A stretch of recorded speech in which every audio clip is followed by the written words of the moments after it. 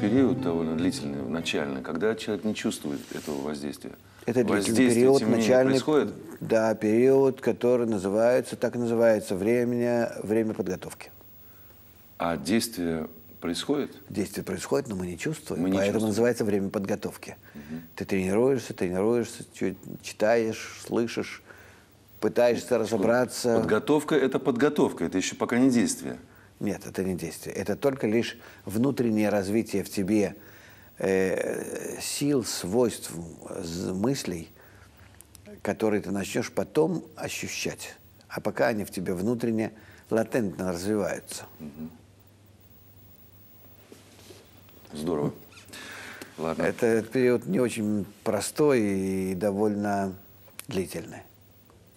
Он, так- он, он, он длительный, потому что человек даже не понимает, насколько э, кардинально в нем все должно меняться.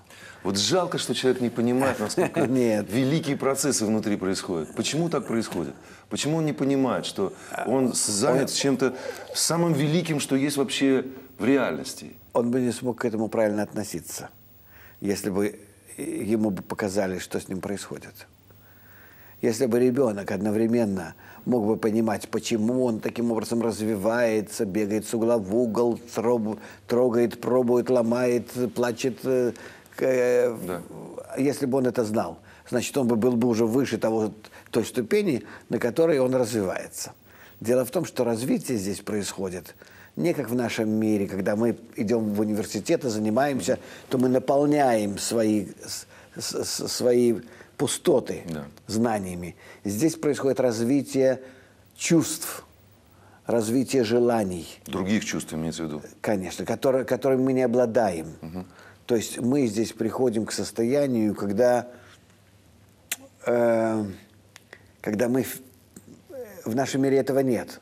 Когда мы под воздействием света рождаем и развиваем в себе совершенно новые свойства, которых нет.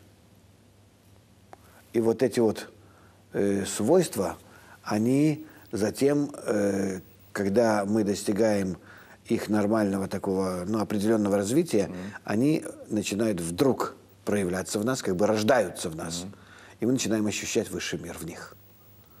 Но пока они не развились, нам нельзя э, видеть, ощутить, понимать. Мы просто не- должен, должен быть какой-то порог, до которого мы должны вырасти, пройти, и тогда мы начнем в них это ощущать.